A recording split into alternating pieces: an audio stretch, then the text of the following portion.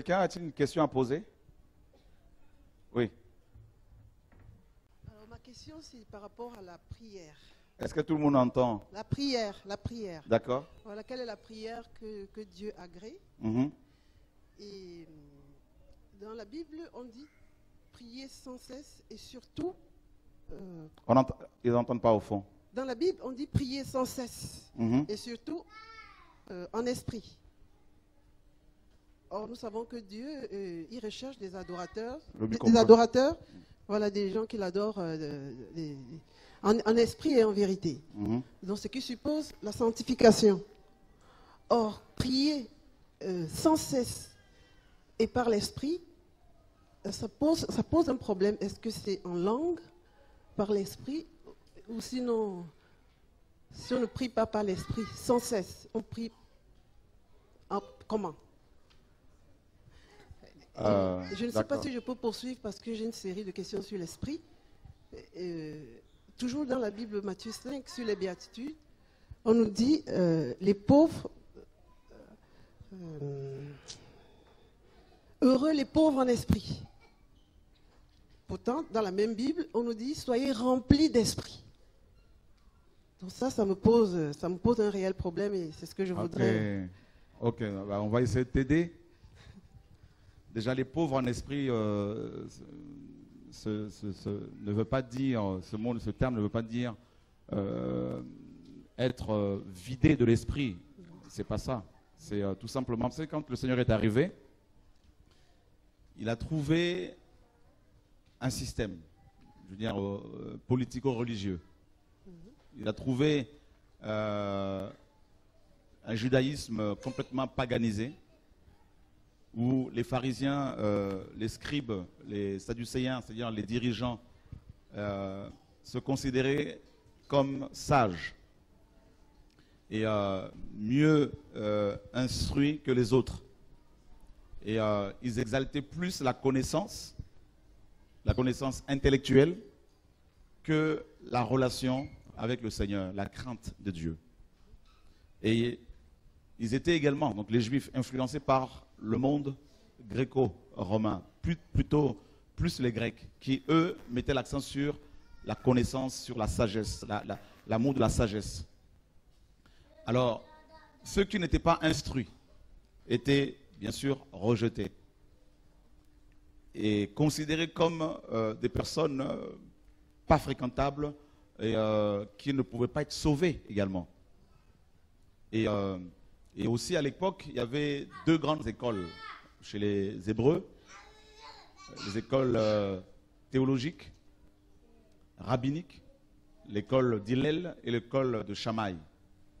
Et ceux qui n'étaient pas, ceux qui ne passaient pas par ces écoles étaient vraiment, euh, voilà, décon- déconsidérés. Comme on peut le voir aujourd'hui hein, dans nos pays euh, dits civilisés. Et bizarrement, quand le Seigneur arrive, il va prendre des personnes du commun peuple, pour la plupart, sauf Paul, par exemple. Des gens qui n'étaient pas du tout lettrés, des gens qui étaient illettrés, des gens qui étaient littéralement idiots. Et ce sont, ce sont ces gens-là qu'il va utiliser pour confondre la sagesse des de, de- de- des sages, et comme 1 Corinthiens 1 le dit. Et euh, c'est pour cela qu'il disait, bénis sont euh, les pauvres en esprit, c'est-à-dire des gens qui sont déconsidérés parce qu'ils n'ont pas de culture, parce qu'ils sont, ne sont pas, ils n'ont pas de bagage intellectuel, tout ça, parce qu'ils n'ont pas fait de grandes écoles. Et, euh, et ce sont ces gens-là que le Seigneur, justement, veut sauver, des gens qui cherchent à Dieu sim- simplement. Pas de ceux qui, estiment connaître déjà. Voilà. Et Dieu disait justement dans Jérémie, il disait euh, que celui qui veut se glorifier, se glorifie d'avoir de l'intelligence et de me connaître. Hein, que le sage ne se glorifie pas de sa sagesse. Donc il y avait cette, euh, manière de voir les choses chez les Hébreux où ils se glorifient à cause de leur sagesse, tout ça, et pas seulement chez eux, chez les Grecs également. Donc heureux ou bénis euh, les pauvres en esprit, c'est pas parce qu'ils étaient euh, vidés de l'esprit, parce qu'ils étaient voilà, simples. Voilà, ils cherchaient le Seigneur. Et aussi euh, prier sans cesse. Littéralement, on ne peut pas prier sans cesse, parce que quand on dort, bon, notre esprit peut prier, bien sûr, mais je veux dire, physiquement, on ne prie pas. Prier sans cesse veut dire simplement qu'il ne faut pas négliger la prière, n'est-ce pas? Il faut avoir une vie de prière, et ben, tout le temps, tout le temps, quand on peut. Et on peut prier aussi sans cesse quand on est éveillé, je veux dire, en pensée, on peut dans son cœur prier. Pas forcément en langue, mais on peut prier en intelligence. Voilà, ça nous arrive. on prend le train, on prend l'avion, on est dans la cuisine, on, sous la douche, ben, on parle à Dieu dans son cœur, ou euh, euh, voilà, ouvertement. Voilà. D'accord? Quelqu'un d'autre?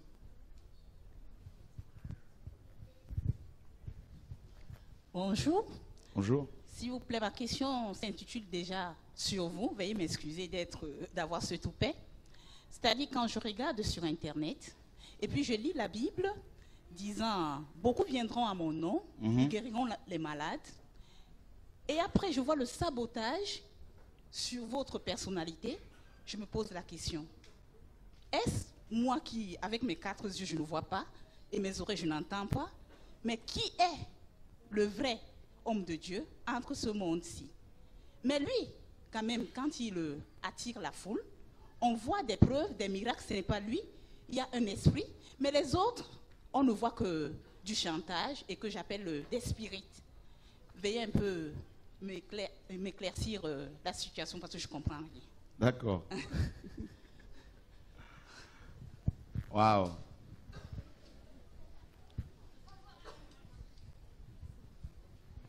On va prendre euh, un passage dans les Écritures.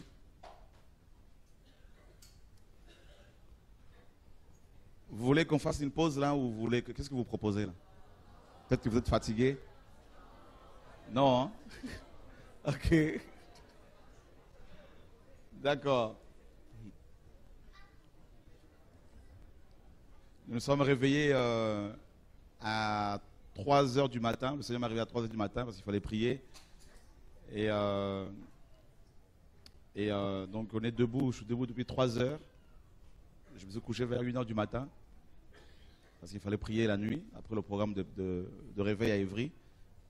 Et euh, donc on a pris notre train à Paris à 8h34, donc on est arrivé euh, il y a quoi, même pas une demi-heure. Voilà, pour ceux qui se posent des questions, mais pourquoi C'est que maintenant qu'ils euh, arrivent, tout ça, donc c'est c'est pas volontaire. Amen. Nous sommes dans Matthieu, justement, Matthieu chapitre 5.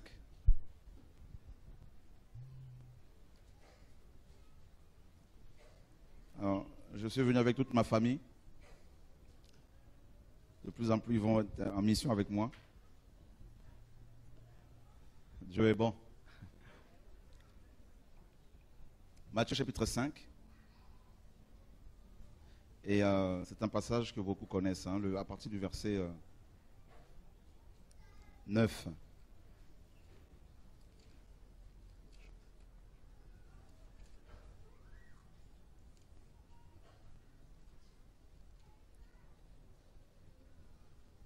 C'est bon, tout le monde y est? Bénis sont ceux qui procurent la paix, car ils seront appelés enfants de Dieu. Bénis sont ceux qui sont persécutés pour la justice, car le royaume des cieux est à eux. Bénis serez-vous lorsqu'on vous outragera, qu'on vous persécutera, et qu'on dira faussement de vous toutes sortes de mal à cause de moi?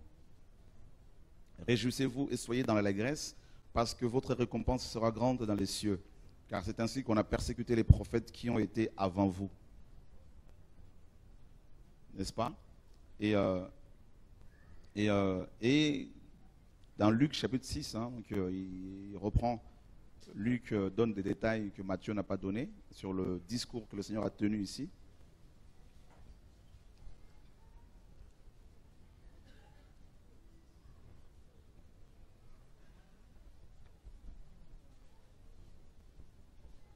Verset, Luc chapitre 6, verset 26. Euh, À partir du verset 22, pardon. Bénis serez-vous quand les hommes vous haïront et vous chasseront et vous outrageront et rejetteront votre nom comme infâme à cause du Fils de Dieu. Et il dit, réjouissez-vous en ce jour-là et tressaillez dans parce que votre récompense sera grande dans le ciel. Car leur Père en faisait de même aux prophètes. Mais malheur à vous, riches, car vous avez votre consolation. Malheur à vous qui êtes rassasiés, car vous aurez faim. Malheur à vous qui riez maintenant, car vous serez dans le deuil et dans les larmes. Malheur à vous quand tous les hommes diront du bien de vous, car leur père en faisait de même aux faux prophètes. Voyez? En fait, vous savez que notre christianisme a été engendré dans l'utérus du catholicisme romain. Et ce christianisme-là est complètement euh, éloigné du message de Yeshua. Vous savez quand même que nous suivons tous quelqu'un qui a fini comme un meurtrier, alors qu'il ne l'était pas. Nous suivons tous quelqu'un euh, qui a été rejeté par toute sa nation. Et c'est seulement 120 personnes qui ont reçu son message. 120 personnes au départ. Parce que l'Église est née avec 120 personnes. Alors que quand Yeshua est arrivé en Israël, quand il est né en Israël, à, l'époque, à Jérusalem, Israël euh, était un pays qui comptait à peu près 3 millions, entre 3 millions et 6 millions de personnes. Ce n'est plus. Et, et là, 120 personnes seulement avaient reçu son message. Mais au départ, même sa propre mère n'y croyait pas. Elle le, prenait, également ses frères, ils le prenaient pour un fou. C'est écrit. Et il a marché à contre-vent. Il a trouvé des enseignants, des érudits, des grands docteurs, tels que Nicodème, tout ça. Et il a été à contre-vent quelques sacrificateurs, quelques prêtres avaient cru en lui, c'est vrai, c'est écrit. Mais la majorité l'avait rejeté. Et il est mort comment? On l'a traité d'imposteur, de séducteur.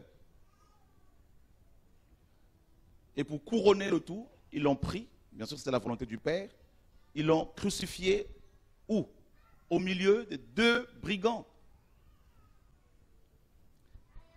Et c'est lui que nous suivons. Pensez-vous qu'en suivant un tel homme, nous soyons épargnés, que nous soyons épargnés de, la souffrance? Non. Des critiques? Non. Des moqueries? Non. Mais le problème, c'est quoi? C'est que Satan, par l'Église romaine, a engendré un christianisme qui n'a aucun fondement biblique, qui n'a pas de fondement, euh, qui n'a pas de, qui n'a jamais été enseigné par les apôtres. Et ce christianisme veut que Hein, ces prédicateurs, ces enseignants, ces croyants soient aimés hein, du monde. Et c'est pour cela que beaucoup de chrétiens sont angoissés, euh, comment dire, euh, euh, dans le doute parfois quand un frère ou une sœur que Dieu a mandaté est combattu. Alors, ils se posent des questions. J'ai vu des gens qui me disaient, mais quand quelqu'un a pris une de mes photos, alors que je n'aime pas les photos, et euh, il, prend, une capture d'image comme ça sur une vidéo, et puis euh, il met des cornes. Quelqu'un a dit, mais je ne savais pas qu'il avait des cornes. vous vous rendez compte? C'est-à-dire, c'est, c'est notre christianisme qui veut ça. C'est-à-dire, on, veut un christianisme pépère, hein, avec un message qui soit politiquement correct, et euh, ça passe partout, tout le monde est gentil, tout le monde est beau. On veut un Jésus light un Jésus gentil, alors que la gentillesse n'est pas un fruit de l'esprit. Euh, tout ça. Donc, euh, un Jésus tolérant. Et, c'est pour ça que ça, ça, coince. Et il a dit, malheur à vous, si les gens commencent à vous acclamer. Donc, regardez Élie. Un jour, il a dit au Seigneur, je serai seul. Mais où sont les vrais? On ne dit pas qu'on est seul, attention, parce qu'on ne sera jamais seul, parce qu'il y a toujours un reste. Jérémie est arrivé, il a marché à contre-vent, et les gens ont dit quoi? Tuons-le avec la langue. Si Jérémie vivait à notre époque, il y aurait eu des sites de créer, sites internet, autour de sa personne. Il y aurait eu des montages vidéo, tout ça, sur son service. Pour ne pas dire son ministère. Esaïe, comme il a fini, selon la tradition, il a été scié en deux. On l'a mis, on l'a mis dans un, dans un tronc d'arbre et on l'a scié comme ça. Il est encore en vie. Et Hébreu 11 nous dit qu'il y en a qui ont été sciés. Donc il est question ici certainement d'Esaïe selon la tradition. La Bible dit dans Hébreu 11, regardez les gens de la foi, les hommes et les femmes qui avaient la foi d'Abraham. On nous dit que ces hommes étaient, n'est-ce pas, pourchassés ils se cachaient dans les antres de la terre, dans des grottes. Ils, étaient, et euh, c'était des hommes dont le monde n'était pas digne. Et d'ailleurs, le Seigneur n'a-t-il pas dit que vous serez mes témoins? Il a dit cela, non? Ça veut dire quoi littéralement? Vous serez mes martyrs. En fait, il faut dire aux gens qui se convertissent, il faut leur dire, vous êtes mal barrés, vous, aurez des problèmes jusqu'à la fin de votre vie. Il ne faut pas leur voir la face, il faut leur dire d'emblée la vérité. Que là, c'est une guerre. Paul dit quoi? C'est par beaucoup de tribulations qu'il nous faut entrer dans le royaume de Dieu. Et effectivement, Dieu, pour confirmer euh, l'appel des uns des autres, qu'est-ce qu'il fait? Ben, Il accompagne sa parole par les, les signes. Voilà. Et c'est ce qu'il a toujours fait. Et je t'assure, ma soeur, s'il n'y avait pas tout ça, s'il n'y avait pas d'abord cette présence de Dieu, j'arr- j'arrêterais depuis longtemps. Humainement parlant. euh, hein. Ah non, c'est- terrible. Mais en même temps, Dieu permet cela pour nous tailler, pour nous façonner, pour nous garder dans sa présence. C'est donc tout est prévu par lui. Tout est. Amen. Voilà. C'est la croix.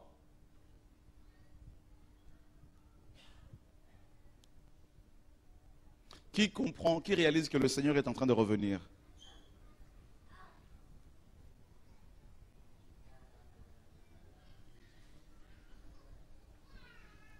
Nous sommes dans Apocalypse. Peut-être que quelqu'un d'autre peut-être a une autre question, je ne sais pas. Oui.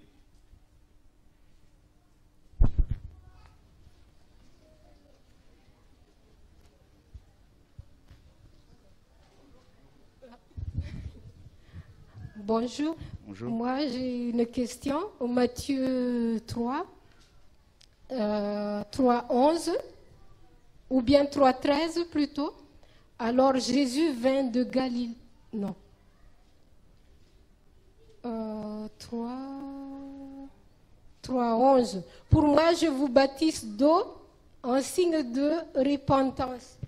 Mais celui qui vient après moi est plus puissant que moi, et je ne suis pas digne de porter ses souliers. Celui-là vous baptisera du Saint-Esprit et du feu. Et au chapitre 14, mes gens l'ont empêché avec force en lui disant, j'ai besoin d'être baptisé par toi et tu viens vers moi. Et alors que en Matthieu 5 3, 11, 3, il y a, il y a, il y a Matthieu qui, qui doutait que c'est, il a envoyé ses disciples en fait Jean-Baptiste qui doutait? Oui, Jean-Baptiste, il doutait que euh, pourquoi euh, en fait euh, euh, Jésus Es-tu celui qui devait venir? celui ou qui doit venir? Voilà. Est-ce que vous pouvez m'éclaircir? J'ai pas compris. Là, D'accord. il a bien, il a bien dit que, il a bien connu là que c'est Jésus. Mhm. Il a dit même à Jésus que c'est moi qui devais être baptisé par toi. Et là, à, à côté, il doutait. J'ai pas compris. Ok, c'est simple. Israël, hein, Israël, donc cette nation était sous l'occupation euh, romaine. Et euh, il payait un tribut à César. Et il y avait même euh, des, euh, des lé- des légions, hein, quelques légions romaines qui étaient là, hein, qui, se, euh, qui étaient notamment sur, dans la forteresse Antonia, donc en Judée. Et ils étaient sous l'occupation, ils étaient occupés. Et il y avait beaucoup de révoltes, notamment des zélotes, ici et là, des juifs contre les étrangers, contre les Romains. Et ils se disaient, le Messie va venir pour nous libérer de cette occupation, hein, expulser, chasser tous les étrangers, les Romains, et restaurer Israël comme Dieu l'a promis à David dans 2 Samuel 7. Et eux, les Juifs, ils avaient confondu la deuxième venue de Yeshua à la première. Donc il pensait que Yeshua en venant, le Messie plutôt, il allait établir son règne de mille ans tout de suite. Et il n'avait pas vu euh, la première venue, c'est-à-dire sa mort et sa résurrection. Les prophètes en avaient parlé un peu rapidement, mais sans rentrer dans les détails parce que c'était encore un mystère.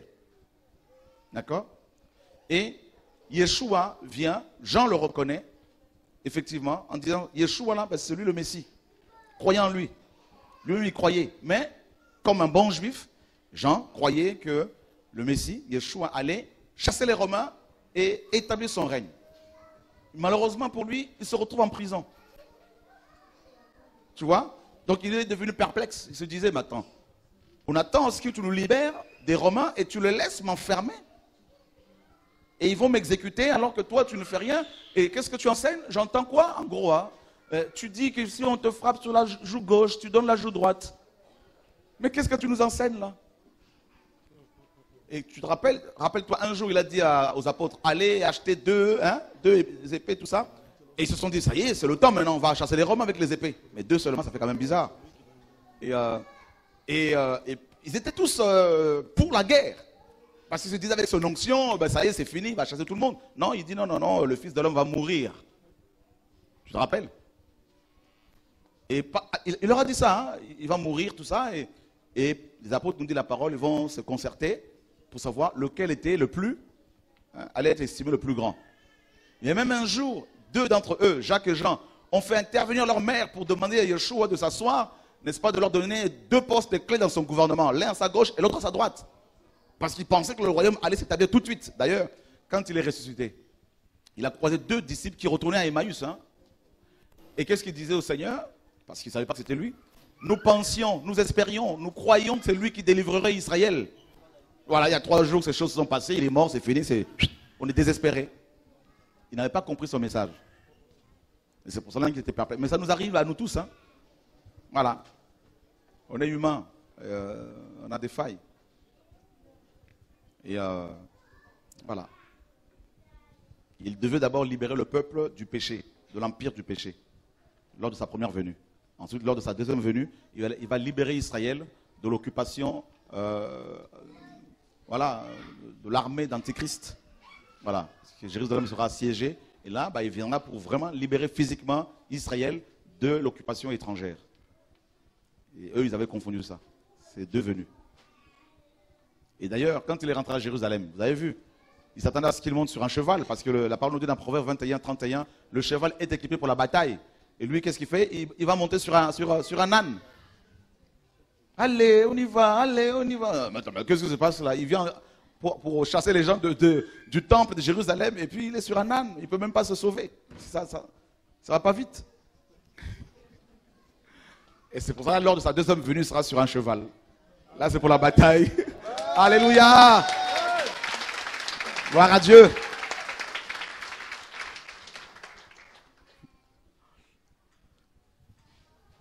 D'ailleurs, ils ont mal interprété Zacharie. Hein. Réjouis-toi, Jérusalem, voilà, voici ton roi vient euh, assis sur, euh, sur un, âne, tout ça, enfin une ânesse, enfin bref. Et là, c'était la, déconvenue. Hein. Bonjour. Bonjour. Euh, je souhaitais poser une question sur la vie d'Abraham. D'accord. Parce que nous, les chrétiens, on a souvent euh, la notion d'Israël avec les douze tribus d'Israël, mais lorsqu'on lit les Écritures, on se rend compte que Dieu a béni Ismaël aussi et qu'il a béni de douze tribus aussi. Donc je voudrais voir pourquoi il y a les douze tribus de deux côtés. Entre les deux côtés du fleuve Non, entre Ismaël et Isaac. Dieu bénit Isaac de douze tribus et il bénit aussi Ismaël de douze tribus. Mais les douze tribus, c'est ça Israël?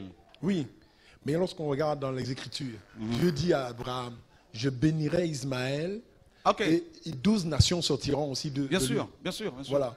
Donc je ah. voudrais comprendre. Eh ben, ils sont bénis, hein, les descendants d'Ismaël. Oui. Avec le pétrole notamment, là. On acclame le Seigneur parce que tout ça, c'est le Seigneur, mes amis. Là. Ouais. Amen le pétrole, le gaz en Algérie, beaucoup de gaz, et on bénit Dieu pour euh, l'Algérie. Alléluia. On a, on, a, on a souvent, nous les chrétiens, une réalité d'Israël et de distribuer d'Israël. Et on jette. Malheureusement. Dans, la réalité de ce qui se passe au niveau des musulmans aujourd'hui, Voilà pourquoi je pose la question. D'accord, parfait. C'est vrai. c'est- un peuple, un peuple que Dieu a béni euh, avec euh, toutes ses richesses, euh, euh, bien sûr, euh, matérielles, tout ça, naturel aussi, bien sûr. Oui. Oui. Alléluia. Amen. Moi, je vais dans le présent. Moi, j'ai un souci. Comment est-ce qu'on peut faire grandir la foi? Parce que ma foi ne grandit pas. Elle est naine. Ok, tu as une foi naine, c'est bien. Enfin, c'est bien, non, c'est pas bien. ok, comment faire pour grandir ben, On va dans 2 Pierre, chapitre 1er. 2 Pierre, la deuxième épître de Pierre, chapitre 1er. Nous lirons à partir du verset, à partir du verset, à partir du verset 1er. Simon Pierre, serviteur et apôtre de Jésus-Christ, à vous qui avez reçu en partage une foi du même prix que la nôtre, par la justice de notre Dieu et Sauveur, Jésus-Christ. Alors j'aime bien ici parce que Pierre d'emblée nous enseigne que Jésus-Christ est véritablement Dieu. Voyez? Et il dit que la grâce et la paix vous soient multipliées par la connaissance de Dieu et de notre Seigneur Jésus puisque sa divine puissance nous a donné tout ce qui appartient à la vie et à la piété, par la connaissance de celui qui nous a appelés par sa gloire et par sa vertu, par lesquelles nous sont données les grandes et précieuses promesses, afin que par elles vous soyez faits participants de la nature divine, en fuyant la corruption qui règne dans le monde par la convoitise. À cause de cela même, faites tous vos efforts pour fournir à votre foi la vertu. Ah ah. Comment faire pour grandir, euh, pour que ta foi grandisse? Ben, Il faut faire aussi des efforts personnels. Bah ouais. Et ça, on n'en veut, pas forcément. Vous savez pourquoi? Parce que, euh, parce que nous avons un, un héritage, euh, pratiquement tous, hein, catholique. Vous savez, le fait de se. De, euh, avec, dans la religion catholique notamment, les prêtres étaient les seuls, encore, encore, les prêtres, les évêques, à lire la, Bible, hein, avoir accès à la parole. Et le peuple devait être dans la passivité. Du coup, les prêtres étaient la bouche de Dieu et les chrétiens, hein, les grandes oreilles pour écouter.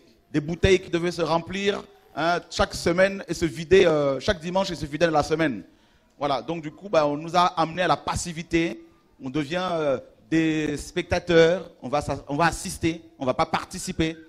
Et c'est ce qui nous a tués aussi. C'est une des choses qui, qui, tue l'Église. Et euh, les églises des hommes, bien sûr. Et, et- et Dieu veut que nous soyons, il nous a fait participants de la nature divine.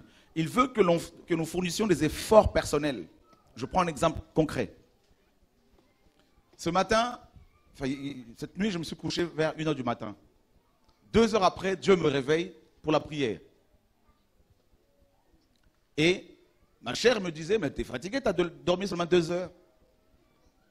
Repose-toi, Dieu va comprendre. Je veux te réveiller, te réveiller après. Vous voyez J'ai essayé. Un moment donné, de nouveau, il m'a réveillé, le Seigneur. Non, il faut que j'aille prier. Donc, il fallait quand même un effort assez personnel, un personnel pour aller jusqu'à la salle, de, salle à manger pour aller prier. Joseph, il avait foi en Dieu. Et quand la femme de Potiphar a voulu aller avec, qu'est-ce qu'il a fait, Joseph? Eh bien, il s'est sauvé. Hein? Voilà, il, était, il avait il avait l'onction, il avait l'esprit de Dieu, mais il se dit non, non, ici, là, c'est sauf qui peut. Voilà. Donc, alléluia. Il y a des efforts personnels à faire. Jeûner, par exemple, ce n'est pas toujours facile. Se passer de son café, euh, café pardon, euh, le matin, euh, c'est pas toujours facile. Hein. Euh, C'est croissant, café, tout ce que tu veux. Mais il faut des efforts personnels. Lire, c'est pas toujours facile. Mais il faut des efforts. Tout ça. Donc faites tous vos efforts pour approvisionner, littéralement, votre foi. Elle a, besoin d'être approvisionnée. Voilà. Par, il y a la vertu, tout ce qui est bonté morale, sanctification, crainte de Dieu, tout ça. Y a aussi la connaissance. Il y a plein plein de choses hein, dont, Paul, dont Pierre parle ici. Et il dit, il dit, et euh, donc la vertu, à la vertu la connaissance, à la connaissance la tempérance, à la tempérance la patience, à la patience la piété, à la piété l'amour fraternel, et à l'amour fraternel la charité. Car si ces choses sont en vous et y abondent, elles ne vous laisseront pas oisifs ni stériles pour la connaissance de notre Seigneur Jésus-Christ. Amen. Voilà, donc ici, qu'est-ce qu'on peut comprendre littéralement? Il y a trois choses qu'il faut savoir par rapport à la sanctification. La première chose, c'est ce qu'on appelle la justification. La justification est un acte légal. Dieu, par, le sacrifice de son Fils, nous a déclarés justes. C'est-à-dire, il nous voit au travers de la croix, au travers, n'est-ce pas, de, de l'œuvre de la croix, de son sang qui a coulé à la croix, qui nous a justifiés, alors qu'on n'a rien fait pour. Ça, c'est la justification. Mais il ne faut pas s'arrêter à la justification, parce que ceux qui sont arrêtés à la justification disent, eh bien, on est sauvé une fois sauvé pour toujours. Sauvé une fois sauvé pour toujours, on peut euh, vi- vivre sa vie comme on l'entend, parce qu'on est déjà sauvé. Non, il y a la deuxième étape, ça s'appelle la sanctification. La sanctification maintenant, c'est quoi? C'est-à-dire, la justification, littéralement, Dieu vient, il te prend, il t'amène dans le jardin d'Éden, comme il a fait avec Adam. Ça, c'est la justification. Autour de toi, il y a toutes sortes de fruits. Il y a euh, l'amour, il y a la paix, il y a la joie, la sanctification. Tout ça, tous ces, fruits sont à ta portée. Ça, c'est la justification. Mais la sanctification, c'est. Il te donne toujours les moyens pour le faire. Le Seigneur il te donne les moyens maintenant pour aller cueillir ces fruits, pour les consommer. Ça, ça s'appelle la sanctification. Donc tous les jours, tu dois manger. Donc tu vas prendre ces fruits qui sont à ta portée. Ah ben tiens, je veux manger. Ah ben tiens, il faut que je pardonne à mes ennemis. Eh ben je veux prendre ce fruit, hein, le pardon, la compassion. Ben je prends. Ça s'appelle la sanctification. C'est pour cela la, la parole nous dit dans, dans Apocalypse 22 que celui qui est saint se sanctifie encore. Et Dieu dit dans Pierre 1, il dit je suis saint et soyez saints. C'est un ordre. Il le dit également dans Lévitique. Et d'ailleurs, pour votre information, le livre euh, euh, euh, du culte par excellence, c'est lequel? Donnez-moi le nom de ce livre-là. Quel est le livre de la Bible qui, est le livre de, par excellence du culte? Lévitique. Ah ah. Voyez? Lévitique. Vaïgra. Il appela, littéralement. Il appela. Il appela où? Il appela qui? Moïse dans la tente d'assignation. Pourquoi? Parce qu'il allait lui communiquer des, n'est-ce pas, des préceptes sur le culte. Parce que Dieu voulait parler aux hommes. Dieu voulait approcher, s'approcher des hommes. Mais le péché était comme une barrière. Alors il fallait justement des lois, des lois relatives au culte, au sacrifice. Et c'est le seul livre de la Bible qui contient plus de 112 mentions. hein, euh, en fait, le mot sanctification revient plus de 112 fois. Kodesh et Kadesh. Plus de 112 fois. Ça veut dire quoi? Ça veut dire qu'on ne peut pas être en relation avec Dieu si on est dans un péché. Et il le dit dans Isaïe 59, le péché met une barrière, un mur entre vous et moi. C'est pour cela que chaque jour, nous devons nous sanctifier. Comment Comment peut-on se sanctifier? Eh bien, en lisant la parole de Dieu. Et Yeshua dit dans Jean 17, 17, il dit, Père, sanctifie-les par ta vérité, car ta parole est la vérité. Et dans Jean 15, 3, il dit quoi Déjà, vous êtes purs à cause de la parole que je vous ai annoncée. Donc, en méditant la parole de Dieu tous les jours, eh bien, on se sanctifie. Et le psalmiste disait, je serre ta parole dans mon cœur afin... C'est dans quel, quel verset là quel, quel- Psaume 119, le verset Le verset Celui qui va donner cette réponse là, il va voir la seule BGC que j'ai ramenée.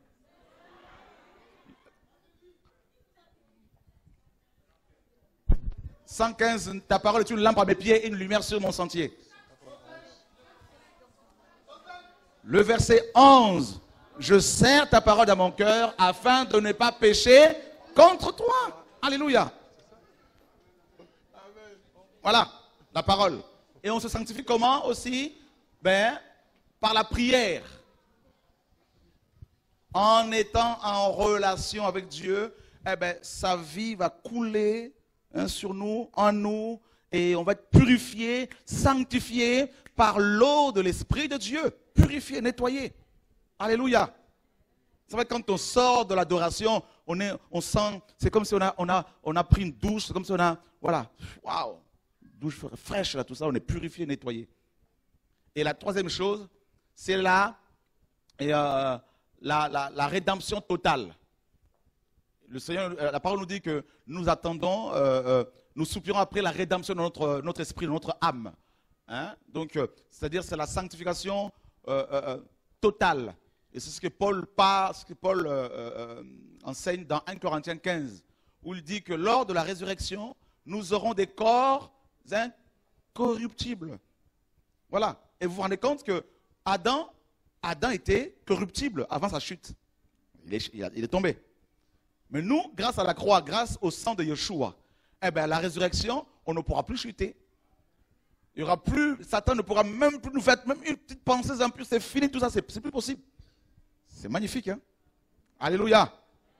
Gloire à Dieu. Une dernière question?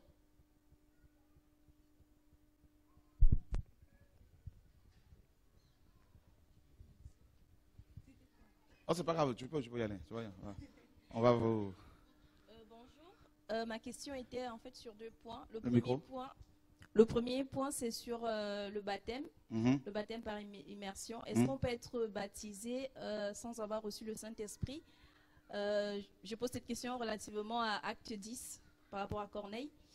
Et ma deuxième question, c'est est-ce qu'on peut être revêtu de la puissance du Saint-Esprit sans parler en langue? D'accord. Alors Pierre dit à Corneille dans Acte 10, peut-on refuser l'eau du baptême à ceux qui ont reçu le Saint-Esprit aussi bien qu'à nous Aussi bien que nous? Et euh, on ne peut pas être baptisé d'eau si on n'a pas reçu l'Esprit. Sinon, ce serait, c'est un bain que tu vas prendre, c'est une douche que tu vas prendre. Alléluia. Voilà. Alors maintenant, la question est, à quel moment euh, recevons-nous l'Esprit? Alors, euh, eh ben, c'est simple, c'est à la conversion à la nouvelle naissance. Voilà. Lorsqu'on est né d'en haut, né de nouveau, c'est là qu'on reçoit l'Esprit de Dieu. Et le même jour, on reçoit le baptême d'eau. Ce n'est pas des années après, parce que ça, c'est la, religion catholique qui a mis en place. Vos pasteurs évangéliques là, qui vous donnent des enseignements avant, tout ça, non, il faut d'abord deux ans d'enseignement, un an d'enseignement. Bah, c'est écrit où tout ça là? Ça, c'est la religion. Voilà. Les jours, le- en fait, tous ceux qui sont baptisés dans les Écritures, ils l'ont été le jour de leur conversion. Tous. Jean est venu, il a prêché l'évangile. Les gens disaient, Eh, que ferons-nous? Allez, le baptême. Jésus avec ses disciples, le même jour, il baptisait les gens. L'eunuque éthiopien, le même jour, il dit à Philippe, voici de l'eau. Qu'est-ce qui empêche que je ne sois baptisé? Philippe n'a pas dit, il faut d'abord que tu passes par le catéchisme, par les enseignements pastoraux. C'est pas ça là, non. Baptême. Il dit, si tu crois que Jésus est le Fils de Dieu, cela est possible. Il dit, je crois, il a été baptisé. Voilà. Maintenant, le parler en langue, ce n'est pas le baptême de l'esprit. Ça, il faut vraiment être délivré du pentecôtisme, hein, parce qu'on a été quand même euh, un peu déformé par rapport à ça. Bon, je suis passé par là aussi. hein. J'étais dans une assemblée ADD. Alors là, euh, en 86, on m'a dit, j'étais encore jeune, on m'a dit, bah, écoute frère, tu es converti, oui, mais tu ne parles pas encore en langue, alors qu'il faut, il faut que tu recherches avec force, avec... euh, oh là là, Ben, le baptême de l'esprit, il faut que tu le recherches. Alors j'ai fait des kilomètres, étant petit, pour chercher le baptême de l'esprit. Et je tombe sur un évangéliste, il me dit, mais mets-toi à genoux, je vais prier pour toi. Ben, euh, oh, imposition mains. Une demi-heure après, pas de baptême de l'esprit, pas rien. Pas de parler en langue. Alors, je lui ai un problème. Il me dit, bah, écoute, regarde-moi, tu vas répéter la la la la la la la la la la, et la la la rien. Il dit, bon, bah, ça va venir, ça va venir, ça va venir. J'étais frustré parce que je disais que Dieu ne m'aimait pas, parce que c'est pas possible. Alors, Paul dit dans 1 Corinthiens 12, tous sont-ils apôtres La réponse est, tous sont-ils prophètes? Non, Tous sont-ils docteurs? Non, Tous ont-ils le don de guérison? Non, Tous parlent-ils en langue? Non, Tous prophétisent-ils? Non. Mais alors, pourquoi on veut que tout le monde parle en langue?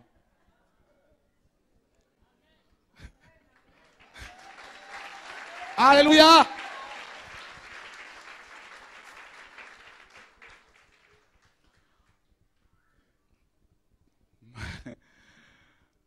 Quand le pentecôtisme est né au début du XXe siècle, avec le réveil d'Azusa Street, avec William Seymour, ce noir américain qui était borgne, même bien avant lui avec Parham, qui était quand même euh, un grand enseignant euh, de la parole, eh ben, au, réveil de, de- d'Azusa Street, les gens disaient, ben, ceux qui ne parlent pas en langue ben, ne pouvaient pas, euh, n'avaient pas reçu l'esprit.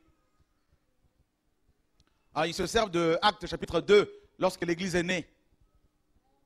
Vous voyez, le Seigneur leur disait dans Acte 1, vous allez être baptisés dans peu de jours du Saint-Esprit. Alors, oui, ils ont reçu tout le même jour. Tout. Pourquoi? Parce qu'ils ont connu la période de la transition de la loi à la grâce. Vous comprenez? Ils ont suivi Yeshua avant d'entrer dans l'âge de la grâce. Ils l'ont suivi, ils ont cru en lui pendant l'âge ou la dispensation de la loi. Contrairement à nous. Vous comprenez ce que je veux dire? Donc, ils ont été formés, préparés pour recevoir l'Esprit, le baptême notamment, pour intégrer le corps de Christ. Parce que le baptême de l'Esprit nous dit en Corinthiens 12, hein, a pour but de nous intégrer dans le corps de Christ. Paul dit, nous avons tous en effet été baptisés dans un seul esprit pour être un seul corps. Ah oui, si on te dit que tu n'es pas baptisé dans le Saint-Esprit alors que tu crains Dieu, cela voudrait dire que tu n'es pas sauvé. Tu es hors du corps. Et c'est grave. Et d'ailleurs, vous remarquerez que je ne parle plus tellement en langue devant tout le monde. Quand on est deux ou trois, pour ne pas choquer les gens, on entend les chrétiens. Mais ça choque tout le monde. Il faut, il faut, voilà. C'est biblique, mais il ne faut pas. Paul encourage plus les gens à prophétiser qu'à parler en langue. Amen. Voilà. Pourquoi? Pour révéler le péché des gens. Il y a tellement de gens qui se cachent dans nos églises avec leurs péchés. Le diable est tellement assis confortablement qu'il faut des prophètes pour l'exposer. Il faut l'esprit prophétique. Une dernière question, la sœur qui avait levé la main. Je vois que vous aimez la parole. hein. Oui, bonjour. Donc, euh, ma question revient euh, par rapport à la prière. À la prière? Oui, donc, euh, de toutes les prières que je connais, je ne connais que le Notre Père. Donc, je ne connais pas D'autres prières. d'autres prières. Ok. Donc, Tu vas apprendre à prier? ouais, j'aimerais apprendre. à D'accord. prier. As-tu déjà été. Est-ce que tu es déjà tombée amoureuse une fois? Oui, Ok. Alors, est-ce que tu as découvert des talents que tu ne soupçonnais pas le jour où tu es tombée amoureuse? Oui, Tels que la ponctualité, la poésie? On acclame le Seigneur. Dieu est bon. Bon. Qui t'a appris ces choses-là? Eh bien, c'est Dieu, l'amour. Eh bien, ah, est-ce que tu avais besoin euh, d'un livre de dialogue pour parler avec l'homme que tu aimais ou que tu aimes? Non. Euh, écoute, c'est écrit dans, ici, dans quel tel paragraphe? Voilà. Bon, euh, je suis amoureuse de toi, je t'aime bien, je suis d'accord avec toi. Non, là, je ne suis pas d'accord avec toi. Non, c'est naturel. Eh ben, avec Dieu, c'est pareil. Notre Père qui est aux cieux, ça, c'est, c'est, pas, pas une espèce de mantra. Beaucoup répètent cette prière-là comme des mantras. Vous savez, c'est non, non, non, non, non, non. C'est pas ça. En fait, ce sont des principes des principes ou des pr- principes de base, ce sont des, des principes directeurs euh, qui nous à- à prier. Le premier principe dans cette prière-là, c'est quoi? Notre Père. C'est tout un enseignement. Ce sont des bases qu'il a posées ici, le Seigneur. La preuve, aucun disciple n'a répété cette prière-là. En fait, il nous apprend ici quoi? Il nous apprend que les prières sont adressées au Père. Et ce sont les fils et les filles qui parlent au Père. Il nous amène ici à la relation avec la paternité de Dieu. Dieu devient notre Père. Il a dit, voici donc comment vous devez prier, notre Père. Alors que les Hébreux ne parlaient pas comme ça. Là, avec Yeshua, le Père céleste est devenu le Père de chacun de nous. Alors que chez les Hébreux, il était le Père de, tout le pays. Mais maintenant, il est le Père de chacun. Donc, il nous amène dans une intimité avec le Père. Et, ça, c'est la première base, c'est le père, c'est la paternité. C'est- et, donc, il y a une relation entre père et fils, père et fille. D'accord? Voilà, ça c'est la, première chose. Dieu n'exauce que ses enfants. Il entend toutes les prières, même les païens, il entend toutes les prières, mais il n'exauce que ses enfants. D'accord? Le père. Et c'est pour cela. Et euh, lorsqu'un vrai enfant de Dieu crie, Dieu intervient. Parce que c'est notre père. La deuxième base, c'est quoi? Que ton nom soit sanctifié. Un. C'est la sanctification. Et il est dit dans Hébreu 12, 14. Recherchez la paix avec tous. Et la sanctification, sans laquelle nul ne verra. Alors les gens disent, bon, nul ne verra le Seigneur, c'est le jour où il viendra. Parce que c'est au futur. Nul, ne verra le Seigneur. Eh ben, c'est pas tout de suite, c'est après. Donc je peux vivre dans le péché, faire ce que je veux. Non. En hébreu et dans le grec biblique, il n'y a pas de verbe, hein, il n'y a pas de passé ni, futur. Il n'y a, pas de temps passé pré- et futur, il n'y a que le présent. Présent continu. Je suis, Dieu disait. Donc, ça veut dire que celui qui veut voir Dieu, le fils ou la fille de Dieu qui veut être exaucé, doit être dans la sanctification. Que ton nom soit sanctifié. C'est-à-dire, euh, euh, une autre base par rapport à ce passage-là, c'est le nom. Le nom, c'est la parole. Donc, la prière doit être en accord avec la parole de Dieu. Proverbe nous dit, celui qui détourne son oreille pour ne pas écouter la loi, sa prière même est une abomination. D'accord? Donc, dans la prière, nous cherchons à glorifier Dieu. Nous prions au nom de Dieu. Et son nom, c'est Yeshua. Nous prions en, en étant accord avec la parole. Élie a dit quoi? Il dit, j'ai tout fait selon ta parole. Et Dieu est intervenu. Troisième fondement. Troisième base. Notre Père qui est aux cieux, donc il est déjà là-bas. Donc il n'est pas à Paris, il n'est pas au Vatican, il n'est pas à Rome, il n'est pas euh, en, Israël pour aller faire euh, aller prier sur le mur de lamentation. Il est au ciel. Que ton nom soit sanctifié, que ton règne. Ah. Donc la prière doit avoir aussi pour but, pour but la manifestation du règne de Dieu. Voyez? Dans nos vies d'abord. Que ton règne vienne. Seigneur, je te soumets ma vie. C'est l'obéissance. On doit se, se soumettre à la parole de Dieu, le règne de Dieu. Et quand ce règne vient, eh ben, les sorciers confessent la sorcellerie. Comme la sœur le disait, mais on voit toutes ces manifestations. Bah oui, c'est ça le règne de Dieu, c'est le réveil. Alléluia, gloire à Dieu. Dieu se manifeste. Partout où tu vas, il se manifeste. Partout. Le règne de Dieu, pas le règne des hommes. Parce que les hommes règnent aussi. Hein. Pas le règne du péché, mais celui du Seigneur. Autre chose, que ta volonté. Hmm, Là, ça coince. Beaucoup hein, veulent faire la propre volonté. Je fais ce que je veux, c'est ma vie. On entend souvent ça. hein. Je fais ce que je veux. Qui dit souvent ça? Non, tu ne fais plus ce que tu veux. Tu fais ce que Dieu veut. Alléluia. Hier, un frère me disait, je pars bientôt, euh, je pars bientôt en Afrique. Il me disait, euh, euh, viens, je prends un billet et tu vas partir avec moi parce qu'il va se marier. Donc il est heureux que Dieu soit béni, il est parmi nous. T'inquiète pas, je ne vais pas t'exposer. C'est- tentant, mes amis, quand des frères proposent de telles choses. Viens, euh, je prends un billet, tu, viens, avec moi en Afrique, viens, on va partir ici et là. Qui n'aimerait pas voyager, découvrir le monde? Et je dis au frère, en souriant,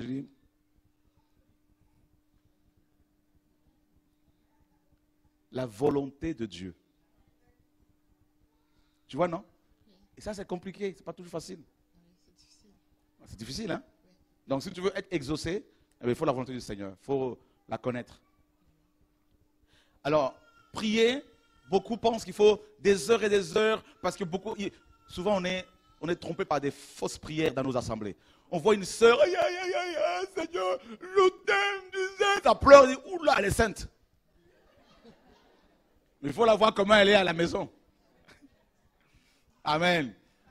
Donc, tu peux prier cinq minutes et avec sincérité, avec humilité, et, Dieu intervient aussi hein, quand c'est comme ça. Que ceux qui, d'ailleurs, on le voit dans la Bible, hein, cet homme, dans Luc 18, deux hommes montent au, temple pour prier. Le premier pharisien, rempli de son crâne, rempli de connaissances, il dit euh, Écoute, moi, avec ma. Je, suis quelqu'un. Je ne suis pas comme, comme celui-là, là, comme le publicain. Je jeûne deux fois par semaine. Je donne ma dîme tous les mois. Je ne suis pas n'importe qui.